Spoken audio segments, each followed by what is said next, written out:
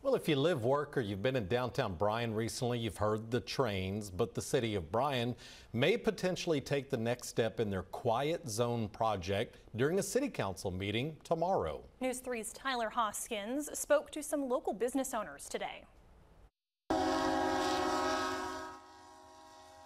It's a familiar noise causing headaches for businesses in downtown Bryan. We have a lot of people that come in from different states, countries, or whatever, and they're not aware of the train that how much it affects their sleep, business people, or anybody that comes in. The LaSalle Hotel says the noises sometimes cut into profits. We've had to offer refunds, we've had to ha- offer drinks, or maybe even free meals because you know we want to make sure that our guests is well taken care of. Across the street at 3rd on Main, owner Wade Beckman says the noise is ear piercing for those walking outside on First Friday. There's even places you can stand that um, when it comes by, I mean, you've got to kind of cover your ears.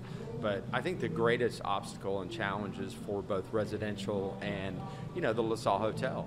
Tuesday, Bryan may take steps on improvements to three more railroad crossings in phase one of the Downtown Quiet Zone project. It's not something you can do overnight. So they started the process a long time ago and have had success in moving forward with different phases of it. And it's kind of exciting to hear that it's going to going to come our way. This resolution would cover safety improvements on streets and tracks, eventually meaning trains stay quiet as they roll through the heart of downtown. We would love to have that because it'll be better for our establishment, it'll be better for our business, it'll be better for the people that are coming in, you know, to share the wealth of Bryan.